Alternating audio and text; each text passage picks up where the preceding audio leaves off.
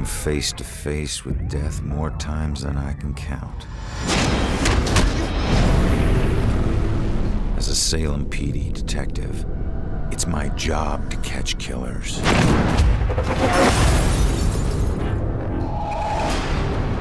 But in all my years on the force,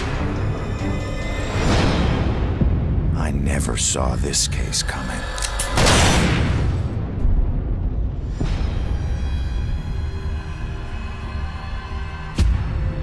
Ronan O'Connor is a homicide detective with a criminal past. Guilty on two counts of grand theft auto.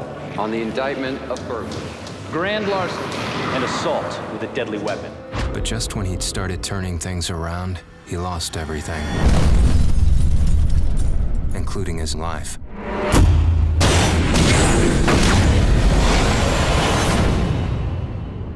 But none of us can move on to the next world until we finish what we need to in this world. You're here to resolve something. You don't resolve it, you don't leave.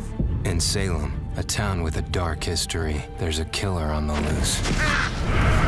He's killed before, and he'll kill again. This crude drawing of a bell has been left at the scene of several murders. Leading police to refer to the murderer as the Bell Killer. Ronan couldn't stop him in life. But death, he's got a second chance. Hidden somewhere is a trail that leads to his killer. He just has to find it. Ronan has lost the ability to question witnesses, interrogate suspects, and interact with the physical world.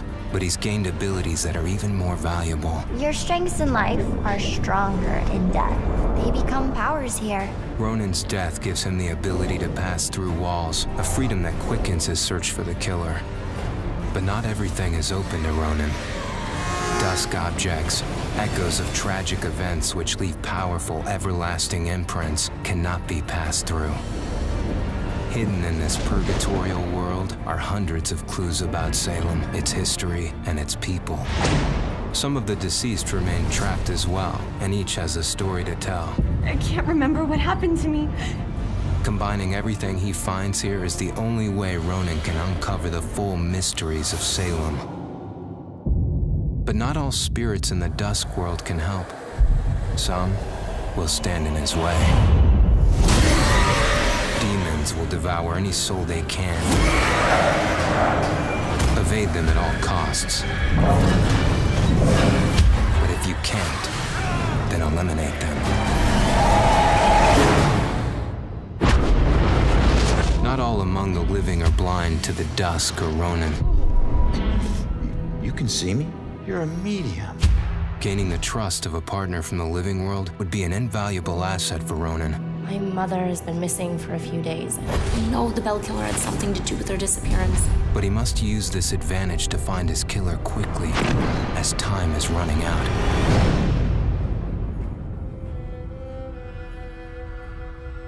Ronan will need to use the skills he honed in life and the abilities he gained in death to put an end to the killing. He can possess any living being and hear their inner private thoughts. How can one guy do this? see through their eyes to reveal vital clues and influence their actions. Progressing deeper into his journey, Ronan will acquire new and more powerful abilities. Abilities that will help him traverse and survive the Dusk world to bring him closer to the truth about his murder. Why him? Why that night? Was he just in the wrong place at the wrong time? Or was there something more at work? There are clues that have been left in the bloody wake of the Bell Killer.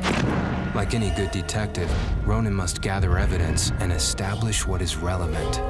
To aid him, he can utilize a new ability he gained in death, the power to see and hear past events.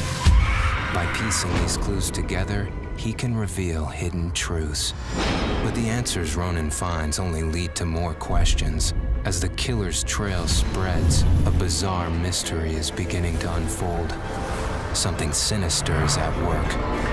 But how many more will die before Ronan can stop it?